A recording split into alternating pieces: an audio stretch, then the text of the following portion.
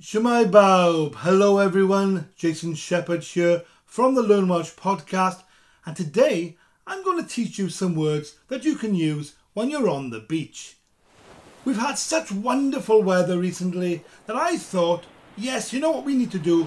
Look at all the Welsh words or a selection of Welsh words that you can use when you're out sunning yourself, sun tanning, etc., playing in the sea. And you know what? As soon as I thought about that and found some words that I thought would be really good to start off with, guess what happened? The weather started going weird. We started having storms and rain and lightning and all kinds of stuff. But by the time this video comes out, hopefully it will be sunny again.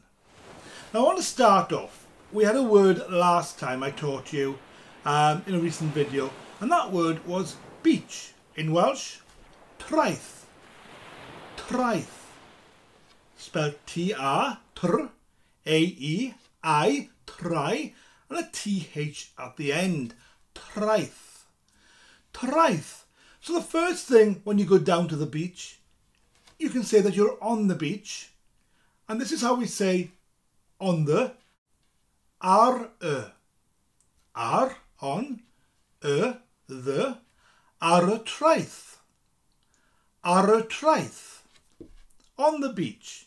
So we're going to be on the beach today, ar y traeth heddi. On the beach today, ar y traeth heddi. And what might and what might you see when you're on the beach? Well, first of all, if you're a child, you're going to go on the beach with your mum and dad, drop down all your bags for the day, and then run over to the ice cream van and ask, Mom, can I have an ice cream? And then the kids would beg and beg until mum or dad would get them an ice cream. And ice cream in Welsh is hufen iâ. Hufen iâ. Two words. Iâ means ice. And you'll hear that probably uh, in other configurations like ice lolly or just uh, ice cubes, those kind of things. Hufen iâ iâ. Once we've eaten our ice cream, as kids we'd be running about and one of my favourite things, I used to love looking at shells, picking them up and finding different colours on the shells. Now shell in Welsh is cragen, cragen, cragen. And I'd pick up a little shell and I'd have a look at it. I'd have a look at that cragen and I used to love looking at for the different types of shells on the beach. Now, shells is cregyn. Cragen, shell, cregyn, shells, cregyn, cregyn. And all over the beach would be the cerrig crynion. The pebbles, they'd be everywhere, especially a very pebbly beach. Cerrig crynion. Cerrig Crynion, pebbles.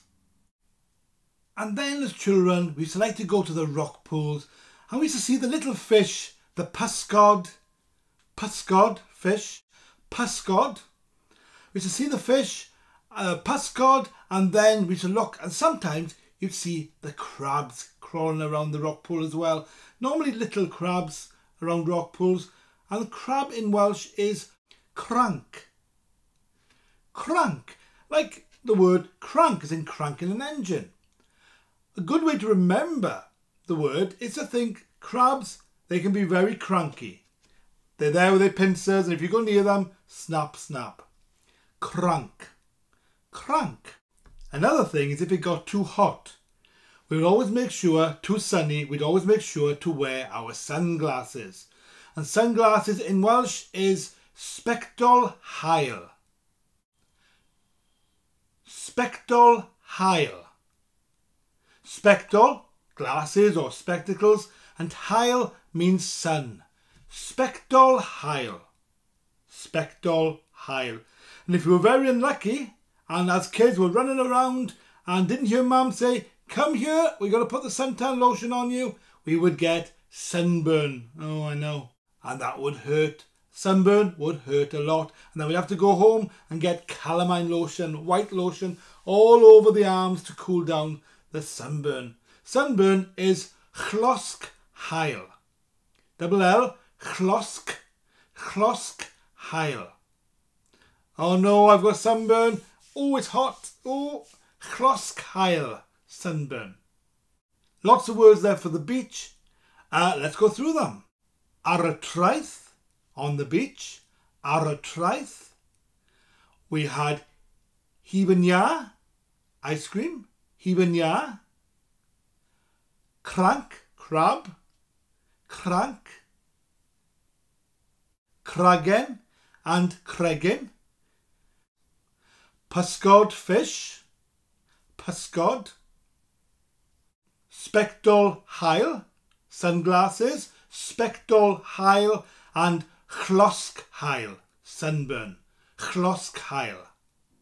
Well, I hope you've enjoyed today's video. If you have, please give us a big thumbs up. If you like what we're doing here, why not subscribe and click the subscribe button. Uh, if you want to, you can get notified for all our videos and just to do that, just click the little bell. Uh, if you really enjoy what we're doing here and you'd like to support us, you can join the Learn Welsh Podcast Club, learnwelshpodcast.co.uk, or you can go to Patreon, patreon.com slash learnwelsh.